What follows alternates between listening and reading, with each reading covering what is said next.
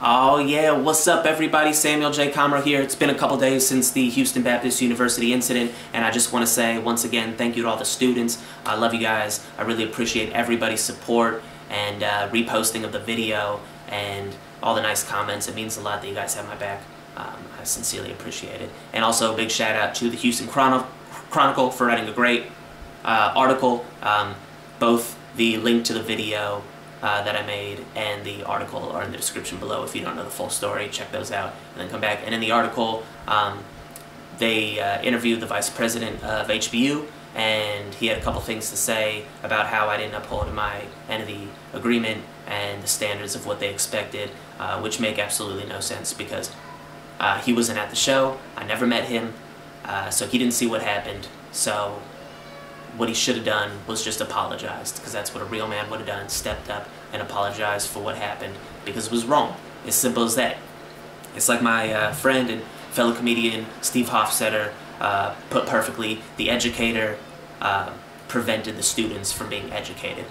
And not that my answer would have been this amazing, thought-provoking answer. I'm a stand-up comedian. Of course, it's going to be silly and fun and whatever, but the point is that she told a student that he couldn't ask specific questions. Students that pay money to go to your campus to learn uh, and grow, and you're telling them they can ask these questions, but they can't ask these questions. That's crazy. Ask all questions. Knowledge is power. They're trying to learn different things, and you stop that because of your own insecurities. And it's unfortunate.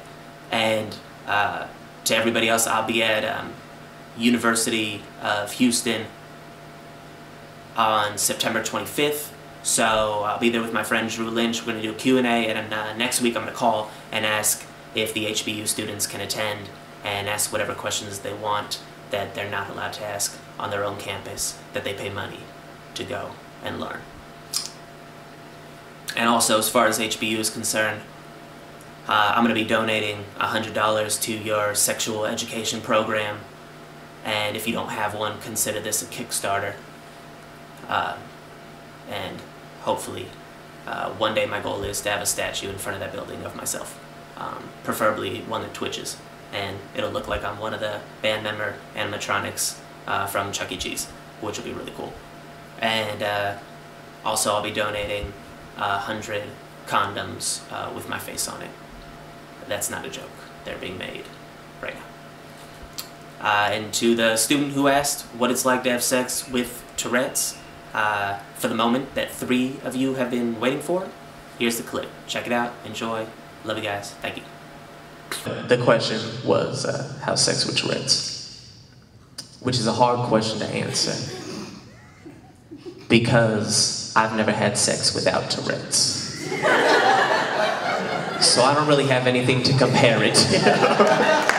I've never been about to have sex and been like, Tourette, stay outside. It's me and the lady time.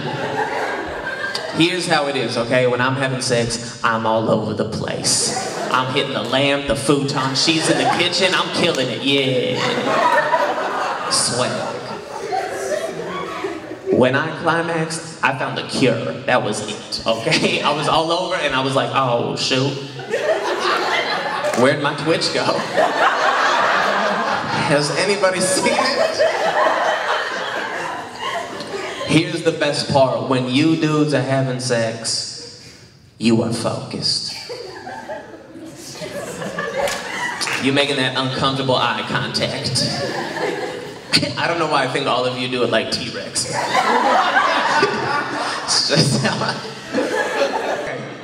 When you dudes are having sex, you focused. Everybody in this room will notice this for the rest of time. It's one of those beautiful, amazing things in life that everybody's gonna notice forever. When all you dudes are having sex, you are so focused. and then when all of you gentlemen climax, you guys you guys get Tourette's. Oh,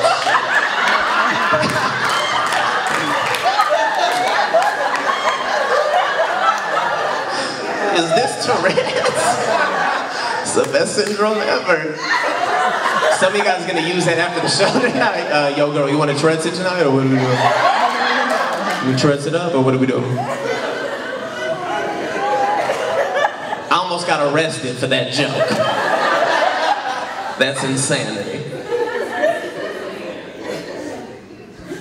That would have been horrible if I went to prison for that joke.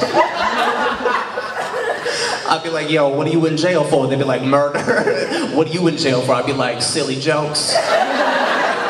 Just silly ass jokes.